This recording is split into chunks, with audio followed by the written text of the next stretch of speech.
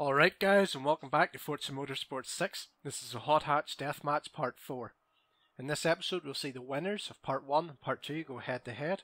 That means it's the Ford Focus RS versus the Volkswagen Golf R.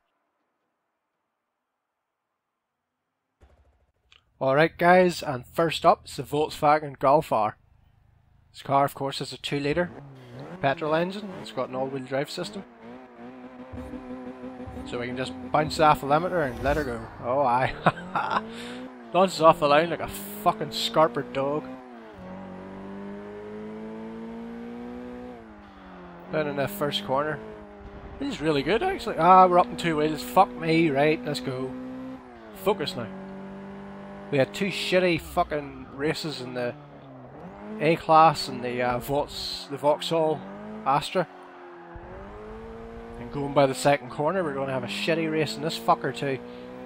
Understeered a bit wide in the second corner, but we'll just uh, we'll get over that. We'll move on. Third corner was much better. It was a good turn. Thank you, Forza. Coming up and through here, we're getting up in the fourth at around 82 mile an hour. That's not bad. Of course, you wouldn't be doing that in your Volkswagen Golf R. Maybe a rental car, yes, but not your own.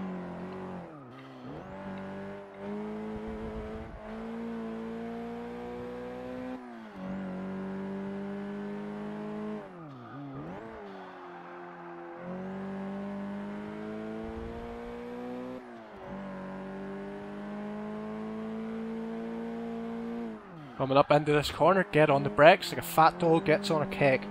Hard, fast, and with no remorse. Coming down and always just lock the fuckers up right now, now, come on. Oh, it's the Volkswagen WRX Golf here. Of course that's going to badly affect the time.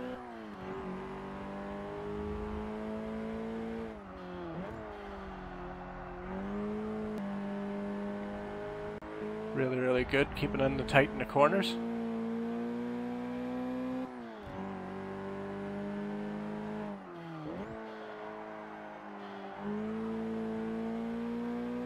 Two point seven seconds off that sector.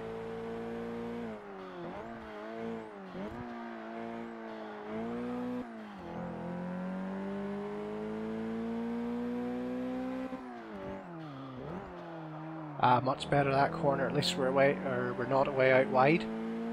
That would badly affect the time. Again, 2.7 seconds off that sector. Car feels really solid.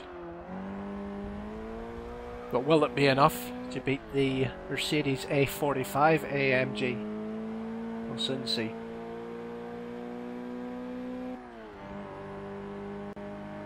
And across the line with a 152. That's actually that's not bad. Up on two wheels again, and we're understeered wide. We're understeered wide. Now, what? I'm rewinding that. Need to give this car a fair chance.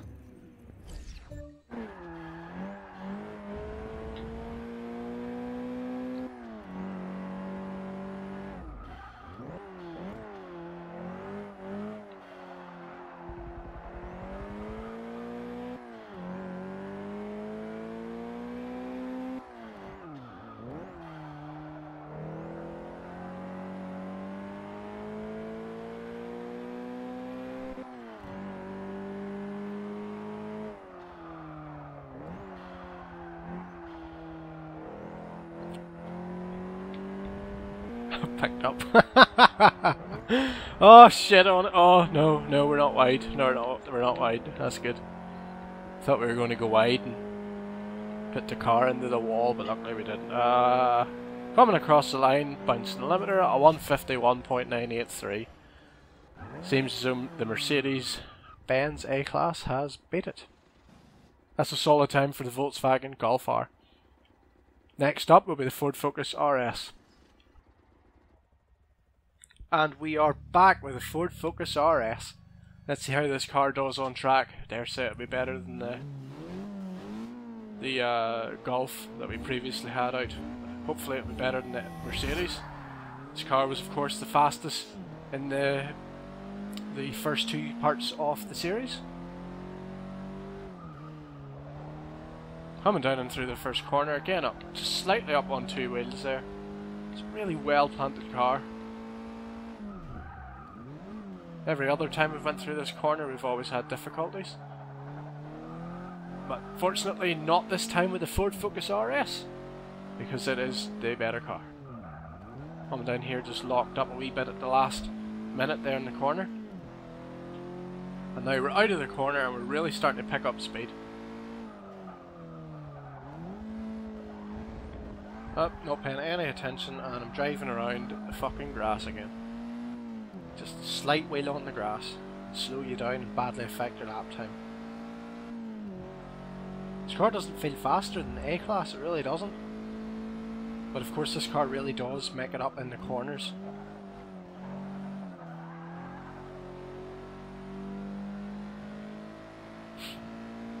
Now again, just braking, there's so many corners on this track and it's paramount that you really make sure that the, the car is maintaining most of the speed in those corners. And of course the corner that always catches me out. Managed to get it around there with no difficulties, for a change anyway.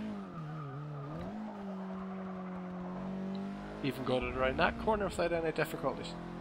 Bloody hell, there must be something wrong with me. And around here, really holding the speed well in that corner. First lap, we're about to cross the line.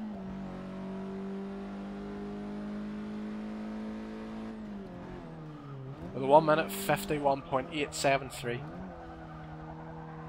This car's already in a position to take the lead from the A45 AMG. I just need to make sure I don't mess up any corners.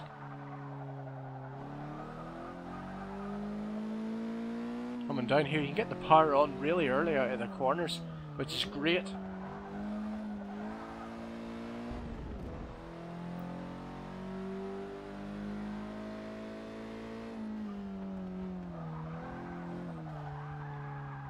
Just want to brake early for that corner.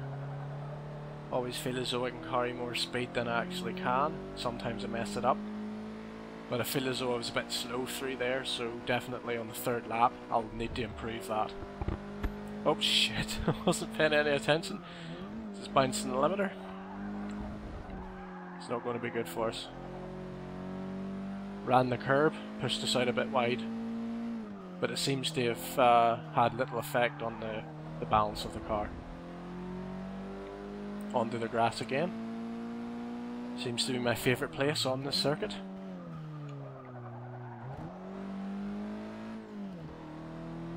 Wasn't too good through that corner. Turned in way too late. We're coming across the line with a 1 minute 48.224. So we just need to take a couple seconds off this lap and it'll definitely be the fastest one or the fastest hatchback.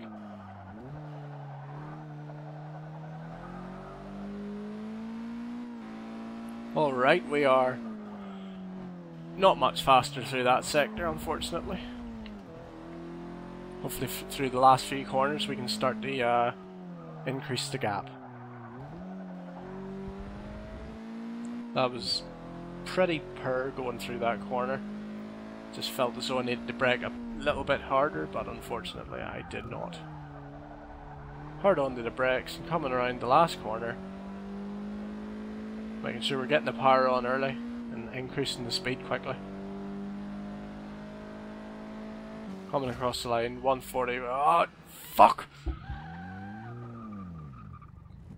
Oh my god, that was so close nearly into the 147s on that lap.